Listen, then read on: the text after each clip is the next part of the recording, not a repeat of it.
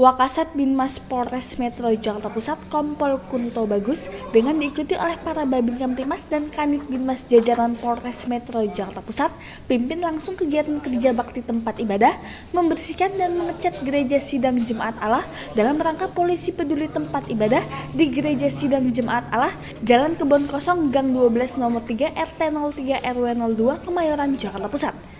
Bapak Diaspora selaku pengurus gereja mengucapkan terima kasih atas kegiatan ini. Semoga kegiatan ini berkelanjutan dan tidak hanya gereja namun masjid atau tempat ibadah yang lainnya.